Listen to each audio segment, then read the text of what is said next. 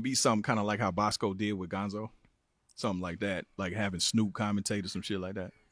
Was Too Short on it? Yep. Too Short was on Yep. it. What? Why you laugh when I say Boskoe? He can't fight if his life depended on it. How old is kid? Like 40? Nah, Boskoe like 37, 38, something No, like that's the same shit. Yeah. you think he too old to get in the ring with you? I'll get in the ring with kid. He can't, he can't fight. So I'm just going to humiliate him. I'm going to beat him. I'm Yeah. going to humiliate him. Yeah. Yeah. I, I five sorry five anybody like him. Let's say uh, something happens where he don't have money to bail himself out. Blood. They gonna beat the fuck out you in that county jail, nigga. You an embarrassment. 38 years old and can't fight. Niggas like my big homie Tiny T Mac, that's at Wayside right now, will beat the fuck out of Boskoe. Tiny T Mac only like what, like five foot five, maybe five seven, swole, cut knocking niggas sleep. Yeah. Yeah.